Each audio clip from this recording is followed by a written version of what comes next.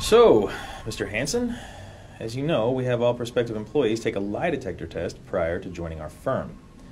So, if you don't mind, we're going to begin with a couple of control questions. Should I be hooked up to something? With the old system, yes. But with the new lie detector 3000, it's programmed to go off when it hears you tell a lie. For example, go ahead and tell an obvious lie. Grass is blue. I'm a tall black man. I've never seen Jersey Shore. I love it. I've never missed one. I've heard good things. Now go ahead and say something that is true so we can properly calibrate the machine. I have a 12 inch penis. That's kind of weird. It should have gone off. Why? because there, there's no way you. I have a 12 inch penis. Actually, might be 13. No? I guess it's 12. Wait, seriously?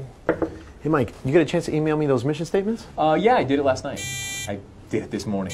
All right. I haven't even started yet. Well, Mike, you're the best. You suck. I'll be back at my desk working. I'll be playing Angry Birds on my phone. Uh, please state your full name. Dane Christopher Hansen. Is it true that you reside at 1444 North Sierra Bonita Avenue? Yes. Apartment 3. How do you do it, man? Oh, um, when I moved here, I went on West Side Rentals. No. It's like $80. How do you live with a 12 inch penis? I mean, how is that even possible? Okay. Uh, I'm getting a little uncomfortable with this line Sorry. of questioning. I'm sorry. You're right. I mean, it's just that 12 inches, that is like a freaking beef bus. You know what I'm saying? Why are you Why are you so concerned about my penis anyhow? I mean, are, are you gay or something? what? No. Hey, nobody loves pussy more than I do. All right, I'm a flaming homosexual, but do me a favor, don't tell anybody because nobody knows. Everybody knows. so wait, tell people? No.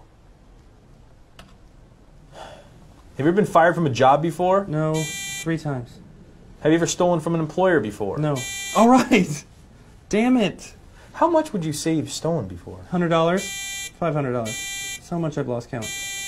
Forty-four thousand seven hundred ninety-three dollars. That's a lot of money, Dane. Well, I had cancer. I bought a boat and named it Cancer. I want to be honest, Dane. This interview is going really well. Yeah. No. This is the worst interview I've ever been a part of. Normally, you'd be gone. However, company policy dictates I ask you one final question. Okay. Would you ever have sex with a man in order to get a job? No. Welcome to the firm.